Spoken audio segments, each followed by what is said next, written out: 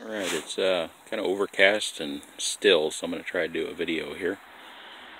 Um, something's been eating off a few of my, like that's a cauliflower and this other one's a broccoli. Something's been nibbling on them pretty good. I'm not sure what. I don't know if it's deer coming up at night. They're kind of selective. They just pick on certain ones. So I put these rings around them just last night just to see if that would kind of keep things off them. But I might have to put some more jugs on them. The jugs are really better protection. Um, planted some more sweet corn back here, and the chickens like to dig, so they've probably dug some of it up, but I think most of it is still in the ground there. Might have to might have to put some fences up this winter and keep the chickens out of here. I'm just not sure. Hate to have to do that because it's a pain, but they do cause some damage. I've had some Japanese beetles on the beans lately.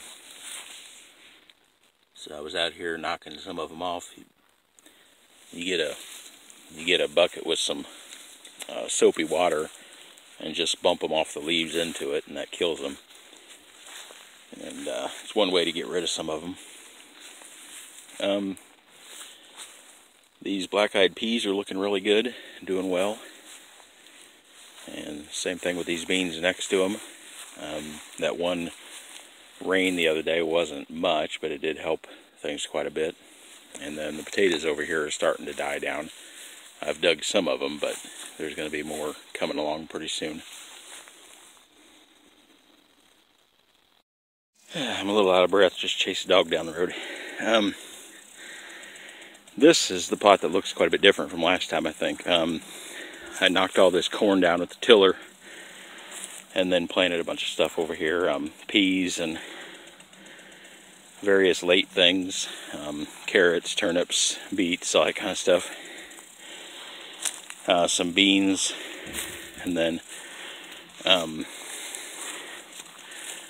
over in this area here got some green onions and uh, I think it was more carrots I also put some zucchini out here because in a few spots because uh, it turned out the one that I thought was a zucchini wasn't. It was a scallop squash, so I don't have any zucchini, which isn't a great tragedy or anything, but wouldn't mind having one.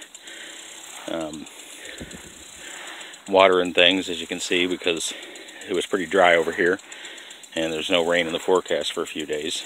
Um, the Swiss chard looks great, though. I need to be eating more of it because it'll eventually just kind of wilt up and get bug bites and not be so good so need to be using more of it. Um, these beans over here are just these are dry beans so I'm just waiting for them to get get to the point of picking. There are some that are ready here. And those are red kidney and then there's pinto beans there too. And then I've still got this one kind of empty area that I haven't done anything with. That I'm probably, oh, I did do one thing. I transplanted these pepper plants over here. Um, I guess they were chili peppers, that's what they are. Um, picked up six of those late and got them transplanted out here, so see how they do. But uh, otherwise, I think I think I'm going to be getting some more cabbage and cauliflower plants that'll that'll go in that area. All right, and this south plot is getting uh, getting a little weedy.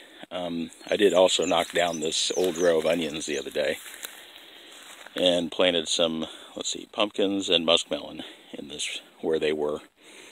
So they aren't up yet; they're just in hills here. Um, some of these vining plants are vining out pretty good. I think there's, I think I saw, thought I saw a watermelon. Yeah, there's one the watermelon getting started there. And these squash plants have got some decent sized fruit getting started on them. Yeah, there's one. Butternut squash. It's kind of interesting this um, this plot. This well not that plant, that's a cucumber, but that squash right there and this squash right here are the same thing. All these down through here are the same thing. They're the same variety, butternut squash. um, out of the same bag of seed. And they're very different color, which tells me basically the soil's different. Different amount of fertilizer, maybe a different soil makeup. So there seems to be a break right about here somewhere where the soil changes and you can kind of see the hill breaks off at that point too. So I don't know, I might get um, I might get soil tests done out here and just see what the deal is because you know these plants down here just look a little sicklier than the ones up at the top of the hill. And uh, I'll see how they do too. Um, this is the plant I thought was a zucchini.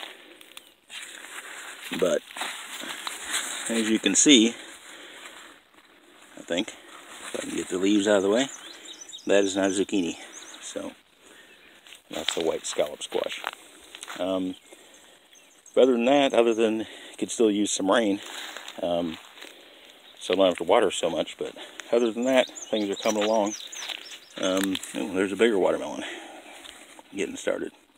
So, I guess that's it for this time. Just going to be doing some more weeding, staying ahead of the weeds um, that are kind of getting started over here. Don't have to worry a lot about with weeds that are a few feet from the plants, but they're just kind of a hassle if they get started. So, anyway, that's my update for this time. So, thanks for watching.